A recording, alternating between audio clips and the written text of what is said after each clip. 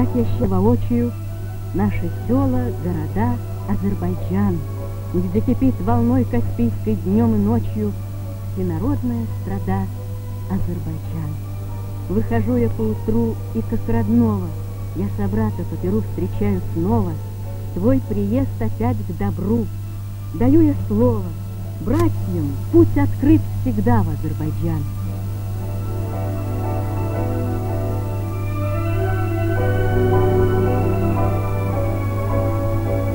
Она удивительно хороша, земля Азербайджана, золотую осеннюю пору.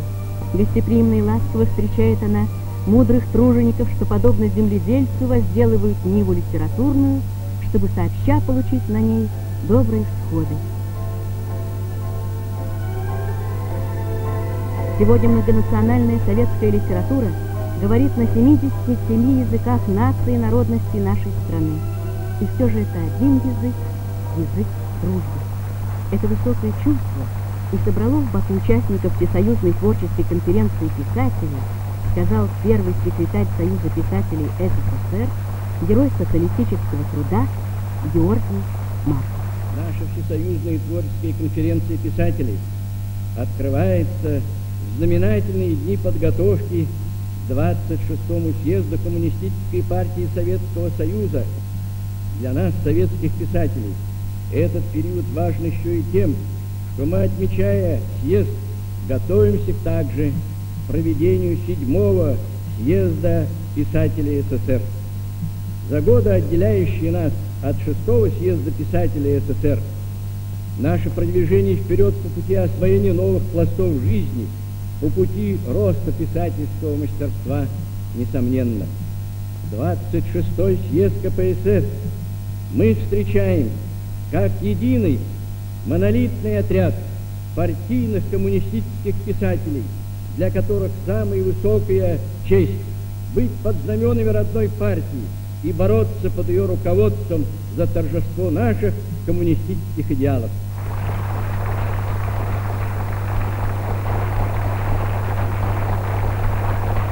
С огромным воодушевлением встретили собравшиеся приветствие Леонида Ильича Брежнева участникам конференции, которая гласил кандидат в члены Политбюро ЦК КПСС, первый секретарь ЦК Компартии Азербайджана, товарищ Алиев. Служение великим идеалам, которые всегда вдохновляли советских людей на доблестный труд и ратный подвиг, говорится в приветствии, является душой нашей художественной литературы, источником ее патриотического и национального содержания. Послание Леонида Ильича вновь и вновь свидетельствует о том, какое огромное значение придает коммунистическая партия роли мастеров художественного слова всей творческой интеллигенции в великом коммунистическом созидании, благородной борьбе за светлое будущее всего человечества. Значение конференции в общественно-политической и культурной жизни нашей страны определяет ее тема «Дружба народов, дружба литератур». Будучи литературой нового типа, советская литература при всем индивидуальном развитии и национальной неповторимости ее творений выражает интернациональный характер братства советских литератур и самих писателей. И прекрасный тому пример нынешней конференции, собравшей на азербайджанской земле литераторов из всех братских союзных республик. Их привело сюда стремление в творческом диалоге найти пути и художественные средства воздействия, влияние на душу и сердце человека сегодня, в эпоху зрелого социализма.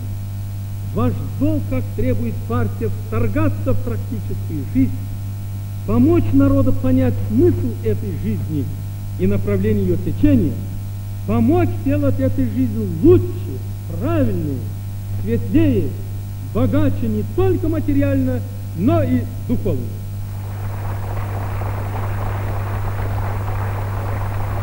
Ленинские истоки современной художественной политики партии – неразрывная связь народа и творческой интеллигенции нашли яркое отражение в глубоком, проблемном докладе Ейдара Ильича Алиева. О высокой и ответственной миссии литераторов утверждать вдохновенным словом величие наших дел шел взволнованный деловой разговор. И не только в зале, с трибуны, в кулуарах конференции. Писатель и жизнь. Поиск героя. Место литератора в рабочем строю. Эти вопросы одинаково волновали тех, кто пишет книги, и тех, кому они адресованы, выливались в острый, обоюдо заинтересованный диалог писателя и читателя.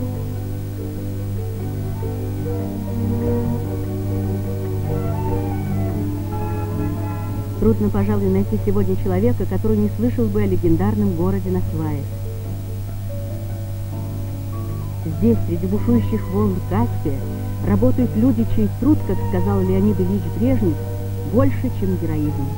И один из героев, буровой мастер, лауреат премии Ленинского комсомола Спиридун Белиев, чем-то особенно привлек тюменского писателя Константина Лагунова, автора романа о нефтяниках Сибири. И поэтому для нас, писателя, нет э, более ответственной, что ли, более важной и почетной задачи, чем рассказать людям о, о человеке труда показать его внутренний мир, духовный мир, показать этого человека таким, каков он есть. Все равно мы в долгу у вас.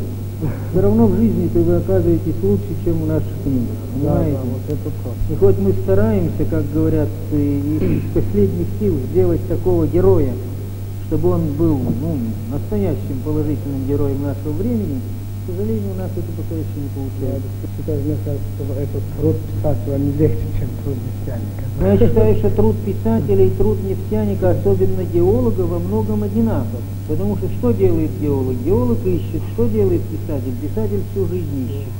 Ищет героев, ищет характер, ищет сюжеты, разбирается в обстановке. Что делает нефтяник? Бурит, пробивается в глубину, доходит до пласта. Что делает писатель? То же самое старается дойти до души человека, понимаете, дойти до основы его, так сказать, понять эту основу. Бережно передали нам века бесценную эстафету дружбы. И вот обрели уже общий дом Низами и Пушкин. В Кировабаде, на родине великого азербайджанского поэта, открылась библиотека, где собраны произведения двух корифеев поэзии. Вечно жива поэзия классиков, певцов нашей дружбы, и вечно жива эта память. Дань любви и признания Низами, Вадиху, Мурасану.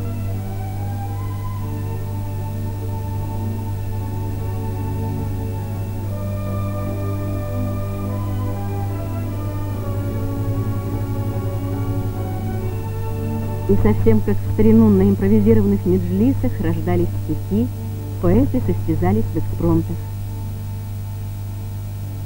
В дни, когда участники и гости конференции знакомились с республикой, они вновь и вновь убеждались, какой это прекрасный, вдохновляющий материал для новых произведений, наша советская действительность. Эти маршруты братства, яркое доказательство актуальности творческого разговора на конференции – любви и популярности писателей, утверждающих в своих книгах великую правду нашего времени. Советская литература играет важную роль в развитии литератур стран социализма, укреплении нашего содружества.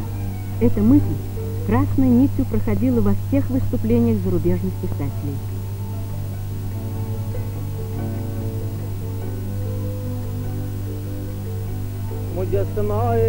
Говорит гость конференции афганский поэт Гулям Дастагир.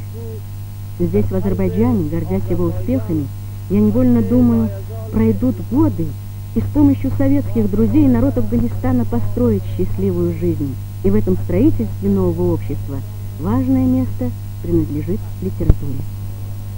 Слово писателя, настоящего художника, всегда обращено в будущее, к молодежи, и находит самый горячий отклик в сердцах юных слушателей. Интересно было узнать, что думают о них писатели, какой видят нашу молодежь. Отвечает поэт Расул Гамзатов. Молодость всегда была красотой века, планеты и Земли. Девушки должны быть, по-моему, очень красивые, а юноши должны быть очень храбрые и смелые. молодежь эта миссию выполняет отлично. Они не подражатели, а продолжатели своих отцов. Пусть молодежь будет поэтичней, красивей.